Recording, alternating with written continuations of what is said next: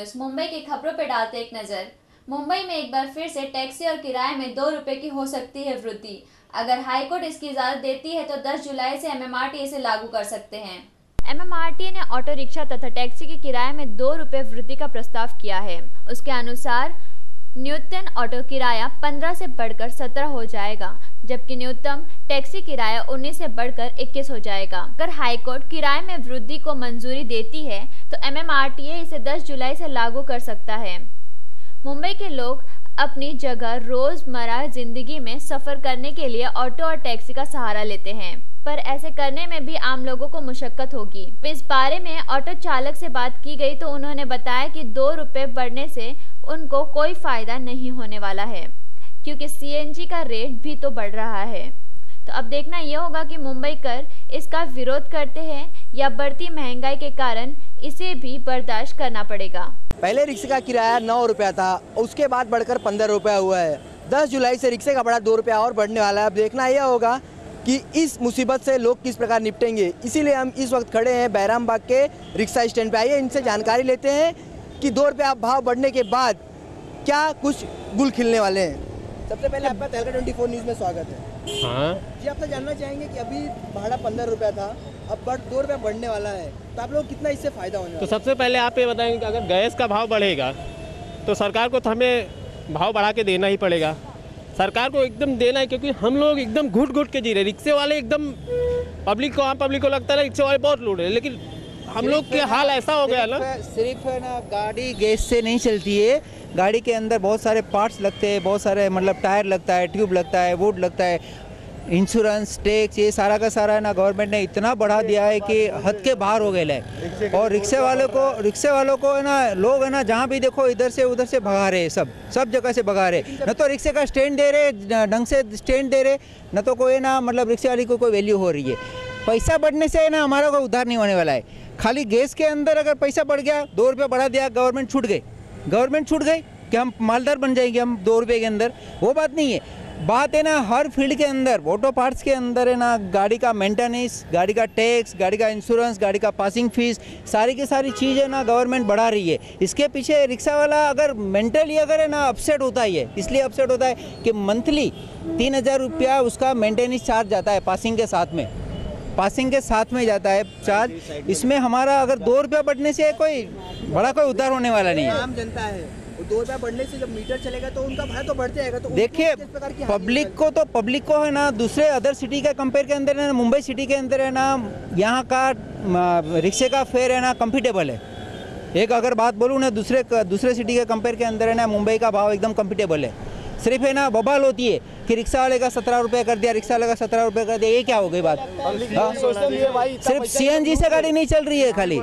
सिर्फ़ सीएनजी से गाड़ी नहीं चल रही है। सारी के सारे है ना पार्ट्स के अंदर है। गा, गाड़ी के अंदर ना ना बहुत कुछ है ना बहुत कुछ लगता है। अरे चाहेंगे अगर दो रुपया भाव बढ़ जाता है। अरे दो रुपया बढ़ने से अच्छा पंद्रह रुपये में से दो रुपया कम करो तेरह बारह ही कर दो वो अच्छा है। गैस का गैस का तीस रुपया कर दो ना फिर। गैस का तीस रुपया कर दो हम लोग है ना बारह रुपए में चलाने के लिए तैयार है तेरह रुपए में चलाने के लिए। सरकार आई है सरकार से किसी से ना महँगाई नहीं बढ़ती है। लोग है ना, लोगों के एक मेंटालिटी है। लोगों की मेंटालिटी है कि ये सरकार भाव कम करेगी, वो सरकार भाव करेगी। क्या सरकार को जादू की छड़ी लेके तो नहीं घूम रही है? कि मतलब कोई भी सरकार आ गई, जादू की छड़ी आ गई घुमा दिया लोग है ना मालदार बन गए। ऑटो भाड़ा की कर रहे हैं कि जो दो रुपया ऑटो भाड़े ऑटो भाड़ा बढ़ने के बाद भी कोई फ़र्क नहीं पड़ना हमारी इनकम में कोई फ़र्क नहीं पड़ने वाला है। हमारी इनकम के कोई फ़र्क नहीं पड़ने वाला है। आम जनता ही आपके रिक्शे से घूमती है, क्या? उनको आपको लगा हाँ उनको थोड़ा रिएक्शन है ना बेड रिएक्शन आएगा कि भाई रिक्शे इतनी महँगी हो गई है क्या करे? रिक्शे में बैठे नहीं बैठे। आठ दिन दस दिन नहीं बैठती बाद में आदत पड़ जाती है। बाद में आदत पड़ जाती है लोग है ना बैठना चालू कर देते। पंद्रह हुआ बहुत बबाल हुई। बहुत बवाल हुई थी पंद्रह के पंद्रह के अंदर भी। तो क्या जब दो रुपया और बढ़ेगा तो आपको लगता है कि मुंबई शहर के लोग कुछ हंगामा हाँ हंगामा नहीं होएगा लेकिन रिएक्शन तो देंगे कि भाई कोर्ट जाएँगे कचहरी जाएँगे। चिल्लाएगी चिल्लाएगी रोएगी बोलेगी घर पे जाके बैठ जाए। पब्लिक कुछ एक्शन नहीं लेती है। खाली पब्लिक चिल्ला सकती है बस। हम लोग को नहीं देख सकती रिक्शे वाले बस दो रुपया रिक्शे का भाव बढ़ गया ये नहीं देखेगी पार्ट का भाव बढ़ा ये नहीं पब्लिक देखेगी। बस रिक्शे का मीटर का भाव बढ़ा पब्लिक यही देख सकती पार्ट का भाव बढ़ा ये पब्लिक नहीं देख गैस का भाव बढ़ा ये पब्लिक नहीं देखेगी। दस जुलाई से रिक्शे के भाड़े में दो रुपया बढ़ोतरी होने वाली है। अब देखना यह होगा की आम जनता इस मुसीबत से किस प्रकार निपटेगी। कैमरामैन हीरा के साथ विनीत दुबे तहलका ट्वेंटी न्यूज़ मुंबई। मुंबई के अंधेरी इलाके के वार्ड क्रमांक 165 में चार नए एंबुलेंस की सुविधा मुहैया करवाई गई है। इस एंबुलेंस की खास बात यह है कि इस एंबुलेंस में ही मरीजों के ऑपरेशन किए जा सकते हैं। इस खास मौके पर एंबुलेंस का उद्घाटन करने के लिए पहुँचे सुरेश शेट्टी। महाराष्ट्र आरोग्य मंत्री श्री सुरेश शेट्टी ने अंधेरी में चार एंबुलेंस की सुविधा मुहैया करवाई। इसके उद्घाटन के लिए अंधेरी वेस्ट के एमएलए अशोक भाव जाधव और नगर सेवक मोहसिन हैदर वहाँ मौजूद थे। इस एंबुलेंस की सबसे खास बात यह है कि इस एंबुलेंस में जीपीआरएस की सुविधा उपलब्ध है। जो भी एंबुलेंस नज़दीक के इलाके में होगी, वो तुरंत पहुंचकर अपना कार्य प्रारंभ कर देगी। इस एंबुलेंस की सुविधा के लिए 108 नंबर पर कॉल करना होगा। इस एंबुलेंस के अंदर मरीज़ के इलाज भी कर सकते हैं और साथ ही ऑपरेशन भी किया जा सकता है तथा इसमें आईसीयू की सुविधा भी उपलब्ध है। इसका उद्घाटन सुरेश शेट्टी ने किया। अब देखना यह होगा कि इस एंबुलेंस से लोगों को कितना मदद मिल पाती है, कितनी किफ़ायती होगी। इससे जितना आदमी चाहे उतना सुविधा ले सकता है, क्योंकि 140 एंबुलेंस मुंबई शहर के अंदर है। और ये सिस्टम ऐसा है कि जैसे पुलिस के लिए अपन 100 नंबर डायल करते हैं, वैसे एंबुलेंस के लिए 108 जो है, वो डायल करोगे तो जो नज़दीक एंबुलेंस है वो आपके पास पहुँच जाती है। ये कहाँ से कहाँ तक एरिया वाले ये पूरा कुलाबा से लेके दहीसर और समुंदर से लेके वहाँ अपने माहौल तक पूरा चेंबूर तक पूरा ये ऐसे ही रहेगा। लोकसभा के चुनाव में तो कांग्रेस को इतनी बड़ी हासिल नहीं हुई थी लेकिन अभी विधानसभा का चुनाव आ रहा है तो किस प्रकार का माहौल कांग्रेस माहौल तो अभी आपको पता ही चलेगा क्योंकि आप लोगों ने अच्छे दिन लाए थे उनके। और आज जनता भी आपको भी पूछ रही है कि अच्छे दिन कहाँ हैं। तो और थोड़े दिन में पता चलेगा और अच्छा अभी तो बजट है नौ दस तारीख को। पता चलेगा क्या क्या अच्छा आ रहा है पेट्रोल आ रहा है गैसलेट क्या आ रहा है गैस क्या आएगा खाने का क्या होने वाला है। आपको क्या लगता है जो बीजेपी की सरकार में महँगाई बढ़ी है कांग्रेस की सरकार में नहीं थी? देखो ऐसा है कि कांग्रेस की सरकार में अगर आठ आना भी बढ़ता ना मीडिया रात को 12 बजे से जो चालू कर देती थी सुबह तक लोगों का दिमाग हिला देती थी कि 50 पैसा पेट्रोल बढ़ गया 50 पैसा डीजल बढ़ गया। अभी डायरेक्ट दो रुपया, पाँच रुपया भी बढ़े तो भी बोले एक मौका देना है। ऐसे मौके देते देते आदमी जिनका बेचारे का, गरीब का, खाने का वादा है वो नज़र भी नहीं आएगा ये भी मैं बोलता हूँ। जो एंबुलेंस आप लोग ने एरिया में दिलाया क्या इसके पीछे कहीं सरकार का कुछ विरोध तो नहीं था कि जो एंबुलेंस का जो ये है इसके पीछे आप लोग का मुद्दा तो नहीं था कि वोट घसीटने का है ऐसा इसमें क्या घसीटने वाला है तो सबके लिए है। कोई मेरे घर के लिए तो नहीं लाया जनता जो भी इसमें तो पार्टी का सवाल नहीं शासन का नाम लिखा हुआ है। ये जो भी काम अगर शासन की तरफ़ से होता है उसमें कोई पार्टी का नहीं। क्या अभी अभी के क्या प्लानिंग चल रहे हैं लोगों की सेवाओं के लिए आपके पर्सनल लोगों के सेवाओं के लिए तो देखो जो सबसे बड़ा आरोग्य का जो मसला था उसमें हमारे शासन के टाइम पे हमने आज तक सब सुविधा उसमें दे रहे हैं। जैसे कि आज डेढ़ लाख तक आपने देखा है कि दवाई की सुविधा जिनके पास ऑरेंज कार्ड है। और राजीव गांधी जीवदया योजना का कार्ड हो ना हो, लेकिन जिसके पास ऑरेंज कार्ड है, उसको ये सुविधा मिलती है। प्लस अभी आपने देखा होगा वन ज़ीरो फोर अगर घुमाओ तो ब्लड अगर लगता है आदमी को तो ब्लड भी मिलता है, वो भी रिजनेबल रेट में मिलता है। जबकि मार्केट में जाओ तो 1200 1300 रुपया देने पड़ते हैं। ये 400 रुपया में गारंटी से ब्लड मिल रहा है। वो भी क्यों कि वो चेकिंग करना है कि उसमें क्या क्या कमियाँ है या कुछ प्रॉब्लम्स है एड्स है नहीं है ये सब चेक करके वो ब्लड दिया जाता है तो वो चेकिंग का इतना महँगाई कर रही है तो इससे क्या कांग्रेस को कुछ फ़ायदा होगा आने वाले विधान देखो हम तो एक बात बता देते हैं फ़ायदा नुकसान का छोड़ दो। सरकार हमारी हो या सरकार बीजेपी की हो लेकिन जो जनता त्रस्त हो रही है ना वो नहीं होना चाहिए। मत देखो वोट देना नहीं देना जनता का काम है लेकिन अगर तुम पीसोगे जनता को इतनी महँगाई में आज आपने आते सही बोला, हम डॉलर को ये कर देंगे, पेट्रोल को ये कर देंगे, उसको वो कर देंगे। अभी क्या कर रहे हो? आज तो अभी बोल रहे हो कि कांदा बटाटे को अलग हटा डालो। मतलब अलग हटाओगे तो भी क्या, आपको क्या लगता है, नहीं होने वाला है? क्योंकि जो लोग काला बाजारी कर रहे हैं, वो सभी लोग सरकार के साथ जुड़े हैं। अभी तो अभी तो ये लोग ऐसे भी बोलने लगे, ये तो झाकी है। संजय निरुपम ने अभी कहा था कि सत्तावन बीजेपी की संसद सत्तावन सांसद जो हैं हम्म। उनके ऊपर आईपीसी की सेक्शन की धारा लगी हुई है जो जो कि बहुत नहीं वो वो वो वो तो देखो कानूनन काम है लेकिन तो अभी लोग गली गली में ऐसा बोलने लगे हैं कि ये सरकार की अभी जो दिखा रहे बढ़ा रहे हैं कुछ इसका उसका ये तो झांकी है। अभी अंबानी का पैसा बाकी है जो इलेक्शन में खर्चा किया था वो तो देना पड़ेगा ना। सर ऐसा क्या लग रहा है कि कांग्रेस इस बार अपनी साथ बचा पाएगी महाराष्ट्र में? देखो महाराष्ट्र की जनता जनता जो है, वो दिल्ली और गली में फ़र्क जानती है। उनको पता है कि आज ही जो उन्होंने शुरू किया है कि शिवसेना को हम साथ में नहीं लेंगे और ये करेंगे, वो करेंगे। देखो, कोई भी चीज़ होती है महाराष्ट्र की जनता का सोच महाराष्ट्र के लोगों का जो सोच है, वो थोड़ा हटके है। अगर ये चाहेंगे उनको रगड़ना या प्रेशर टैक्टिस यूज़ करेंगे, वो किसी के प्रेशर के नीचे नहीं आएँगे। अभी तो ये माहौल बनाया गया था, लोगों के दिमाग पे हैमरिंग किया गया था कि नहीं, मोदी है, मोदी ये करेंगे, मोदी वो करेंगे। अरे वो तो कम से कम हफ़्ते भर तो वही दिखा रहे थे, वो सर लेके घूम रहे आर्मी का। और अभी तोप के गोले भी डाल रहे तो भी कुछ नहीं हो रहा है। अगर हम होते तो ये करते, हम होते तो वो करते, इससे आगे कुछ नहीं करते। यादव ने यह जो आप एंबुलेंस का कार्यक्रम, उद्घाटन का कार्यक्रम आयोजित किया है, ये महाराष्ट्र सरकार का जो कार्यक्रम है, इसमें लेटेस्ट एम्बुलेंसेस जो हम महाराष्ट्र इमरजेंसी मेडिकल सर्विस में प्रोवाइड कर रहे हैं। ये 24 फोर आवर्स सर्विस है, जिसमें एकदम मॉडर्न एम्बुलेंसेस सारे इक्विपमेंट के साथ जो इमरजेंसी में लगते हैं। उस तरह की एम्बुलेंसेज हैं और इसमें 24 फोर आवर्स मुंबई की जनता के लिए डॉक्टर भी अवेलेबल है। कितनी जगहों पे ऐसे पहले भी आपने शुरुआत किया है? ये पूरे महाराष्ट्र में शुरुआत कार्यक्रम की योजना चल रही है और मुंबई शहर में 140 एम्बुलेंसेस मुंबई की जनता की सेवा में हम लगा रहे हैं। मुंबई से सटे सिर्फ़ फाटा में गैर कानूनी तरीके से चल रहा था सलिए के कारोबार। इस पर पुलिस के सहयोग से हमारी तहलका 24 की टीम ने छापा मार एक ट्रक सलिया बरामद किया और साथ ही कार्यकर्ता को भी पुलिस ने अपनी हिरासत में ले लिया है।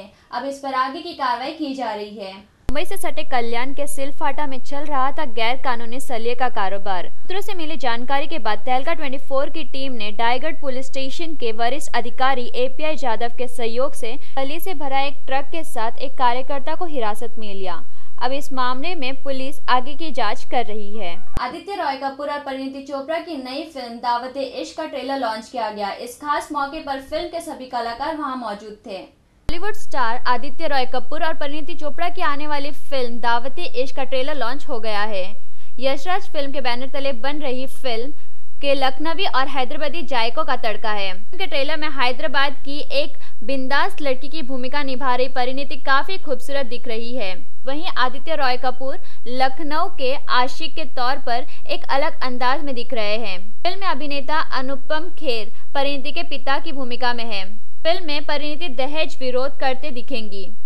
आदित्य चोपड़ा द्वारा प्रोड्यूस की जा रही इस फ़िल्म में लेखक और निर्देशक है हबीब फैजल। यह फ़िल्म 5 सितंबर को रिलीज़ होगी। देश विदेश में जाकर अपनी भोजपुरी फ़िल्म करने वाली रंजू सिन्हा अब लेकर आ रही हिंदी फ़िल्म द फोटोग्राफर। इसकी ज़्यादातर शूटिंग मलेशिया, सिंगापुर और इंडिया में होगा। भोजपुरी फ़िल्मों में धमाल मचाने वाली रुंजुन सिन्हा जल्द ही एक हिंदी फ़िल्म लाने जा रही हैं, जिसका नाम है फोटोग्राफर। इससे पहले रुंजुन सिन्हा ने पारू पटनावली, जय हो जगदम्बा माई जैसे तमाम भोजपुरी फ़िल्मों से धमाल मचाने वाली रुंजुन सिन्हा अब हिंदी फ़िल्मों में अपनी किस्मत आजमा रही है। इस फ़िल्म में निर्देशक कर रहे हैं राजेश वर्मा जी। इस फ़िल्म के गाने की बात की जाए तो इस फ़िल्म में नीतू सिंह, यशवर्धन और कर शरण जैसे तमाम सिंगरों ने अपने स्वर दिए हैं। इस फ़िल्म में गीत लिखे हैं रुंजुन सिन्हा ने। इस फ़िल्म के म्यूज़िक डायरेक्टर हैं अमन श्लोक। इस फ़िल्म की शूटिंग की बात की जाए तो इसकी शूटिंग मलेशिया, सिंगापुर और इंडिया में होगा। इस फ़िल्म के कलाकारों की बात की जाए तो इसमें भोजपुरी के सुपरस्टार सुदीप पांडे जी, जो अपना पहला हिंदी फ़िल्म कर रहे हैं। इस फ़िल्म के राइटर की बात की जाए तो इस फ़िल्म के राइटर खुद रुंजुन सिन्हा जी हैं, जो इस फ़िल्म की प्रोड्यूसर भी है। अब देखना यह होगा कि भोजपुरी में धमाल मचाने वाली रुंजुन सिन्हा जी क्या हिंदी फ़िल्मों में धमाल मचा पाएँगी? मैं मेकिंग तो मेकिंग है, हिंदी हो या भोजपुरी। जब हम हिंदी लिख सकते हैं, भोजपुरी लिख सकते हैं तो मेकिंग क्यों नहीं कर सकते हैं? तो मेरे लिए कोई बहुत कठिन बात नहीं है। हम जो सोचते हैं हिंदी में, लिखते हैं उसको भोजपुरी में तो ये तो हिंदी है तो ये मेरे लिए और ज़्यादा सहज है। इसमें हमें कोई ट्रांसलेट वगैरह नहीं करना है। सहज है बिल्कुल तो और ऐसा लोगों को लगता है कि हिंदी बहुत बड़ी बात है। बड़ी बात उसमें सिर्फ़ यही होती है कि उसके बजट बड़े होते हैं, और वो भी बजट का वजह इसलिए होता है कि स्टार कास्ट के बजट बहुत बड़े होते हैं। बाकी तो कोई भी फ़िल्म फ़िल्म ही है सब कुछ समान है। तो हमने हिंदी किस तरह की रहेगी मतलब? ये हमारी हिंदी फ़िल्म है बहुत न्यू सब्जेक्ट है। सस्पेंस थ्रिल तो है ही रोमांस है कॉमेडी है मसाला फ़िल्म है जो एक फ़िल्म में होता है। लेकिन वो म, ये गीतों भरी कहानी है जो ऐसे गीत इनमें है जो सब्जेक्ट को आगे बढ़ाती है और सस्पेंस थ्रिल से भरपूर है, मनोरंजन से भरपूर है, जो आजकल की फ़िल्मों का ट्रेंड है। Just like Mahesh Bhatt camp की जो फ़िल्में होती हैं, जैसे राज वगैरह आई जो संगीत में भी है, सस्पेंस भी है, एक पब्लिक को बाँध के रखने के लिए जो होना चाहिए उस टाइप की फ़िल्म है। इसे हम बहुत बड़ा एक्शन फ़िल्म नहीं बोलेंगे क्योंकि एक्शन तो वैसे हर फ़िल्मों में होता ही है कहीं ना कहीं बट ये एक्शन प्रधान नहीं है, ये रोमांस प्रधान है और सस्पेंस प्रधान फ़िल्म है। सेम प्रोड्यूसर की फ़िल्म, मैंने पहले फ़िल्म की थी, जय हो जगदम्बा माई। उसको काफ़ी लोगों ने सराहा, बहुत प्यार मिला। इन्होंने भी शुरू की है द फोटोग्राफ़र ये हिंदी बनाना चाहते हैं। इसकी हम शूटिंग का प्लान कर रहे हैं, सिंगापुर, मलेशिया, पेनांग। और द फोटोग्राफर एक ऐसी कहानी है कि एक फोटोग्राफर की लाइफ में क्या क्या टर्न हो आते हैं कैसे वो माया जाल में फंसता है कैसे उसको गलत लोग मिलते हैं। और जो जो उसका शौक़ था फोटोग्राफी का वही कैमरा वो क्लाइमेक्स में उसको क्या साथ देता है?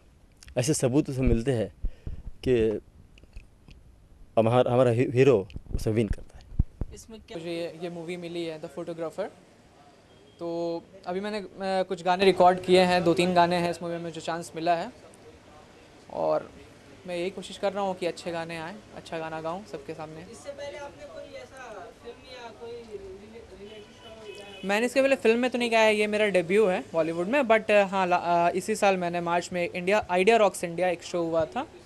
सुनिधि चौहान जो आप जानते हैं rock star queen of India हैं उन्हें वो जज थी उसमें। उन्होंने मुझे विनर एड जज किया था और I perform with her on the stage in front of more than fifty thousand people तो उम्मीद करता हूँ कि उनके इस निर्णय के बाद से मुझे, मेरे जीतने के बाद से मुझे काफ़ी पहचान मिला। तो मैं मुंबई अब आया हूँ और मैं स्ट्रगल कर रहा था और मुझे एक बहुत अच्छा मौका मिला इस द फोटोग्राफर मूवी में गाने का। अमिका शरण है। मैं कॉरपोरेट वर्ल्ड से जुड़ा हूँ, लेकिन म्यूज़िक रंच मंच में मेरी जो रुचि है, वो बचपन से रही है। और आज भी मैं अपने ऑफ़िस में गाने, गायन, वादन, इन सब चीज़ों से जुड़ा हूँ। और जो इस फ़िल्म है, द फोटोग्राफर, उसमें मेरी बुआ जी, रंजू सिन्हा, उन्होंने संगीत दिया है उसका लिरिक्स लिखा है। तो उनके माध्यम से मैं जुड़ा, उन्होंने मेरी प्रतिभा को पहचाना है और उनके साथ जुड़ने का मुझे सौभाग्य प्राप्त हुआ। और उसके बाद मैंने, मुझे मौका मिला है कि मैं इस पिक्चर में अपना स्वर दूँ। और मुझे अच्छा लग रहा है, काफ़ी एक्साइटेड हूँ इस पिक्चर में काम करने के लिए। बहुत एक्साइट हूँ मैं और बहुत खुश हूँ। हिंदी की एक बहुत अच्छी फ़िल्म बहुत सालों के बाद कर रहा हूँ मैं। और थमके बरस मेरा आपने बहुत हिट गाना था, आपने सुना और बहुत सराहा। मुझे लगता है कि इस गाने, ये जो गाने हैं, थमके बरस की तरह ही ये एक मिसाल कायम करेगा। मेरे साथ में मेरे गीतकार जो हैं, रंजू सिन्हा जी हैं। और डायरेक्टर हैं राजेश सोनी जी, फ़िल्म का नाम है द फोटोग्राफर्स। और आठ नौ गाने हैं इसमें। मतलब हर कलर का आपको एक से एक की लाजवाब सारे गाने हैं। पंजाबी का कलर है, जो आप हनी यो यो सिंह के स्टाइल के हमने कई रैप पर अभी हमने यूज़ किए हैं बहुत हाई क्लास के। और इंडिया के सारे टॉप सिंगर इसमें गाने को सजा रहे हैं हमारे गाने को। और इसकी आज शुरुआत है। और हम हमारी टीम को फिर से बधाई देते हैं कि ये एक मिसाल कायम करे, द फोटोग्राफर्स की टीम बहुत हिंदी में एक मुकाम हासिल करे। रंजू सिन्हा जी के साथ पहले तीन फ़िल्में और की हैं। पारो पटना वाली और अभी जय जगदम्बा माई लगी हुई है पूरी मुंबई में, हर जगह, पटना में। तो बहुत अच्छा रिस्पांस मिल रहा है, बहुत खुशी हो रही है। और ये रंजू सिन्हा जी पहली बार हिंदी फ़िल्म बनाने के लिए जा रही हैं। तो मैं उनको पहले तो बहुत सारा ऑल द बेस्ट वैसे मैं छोटी हूँ, लेकिन फिर भी बहुत सारी दुआएँ देती हुई। और मैं बस यही कहना चाहूँगी कि थैंक यू सो मच दीदी, आपने हमें चांस दिया गाने का। और आपकी फ़िल्म द फोटोग्राफर ये वैसे ही धमाल मचाने वाली, उससे भी ज़्यादा, कहीं ज़्यादा जैसे सौतन फ़िल्मों ने मचाया, आपके जो सॉन्ग्स थे, उसमें में अभी जय जगदम्बा माई मचा रही है पारो पटना वाली है। उसी तरीके से फ़िल्म उससे भी कहीं ज़्यादा आगे जाएगी, क्योंकि इसका म्यूज़िक, इसके सॉन्ग्स और ये जो फ़िल्म है, ये बहुत यूनिक है, बहुत खास है। मुंबई के कुछ और नई खबरों के लिए देखते रहें तेलका ट्वेंटी न्यूज़।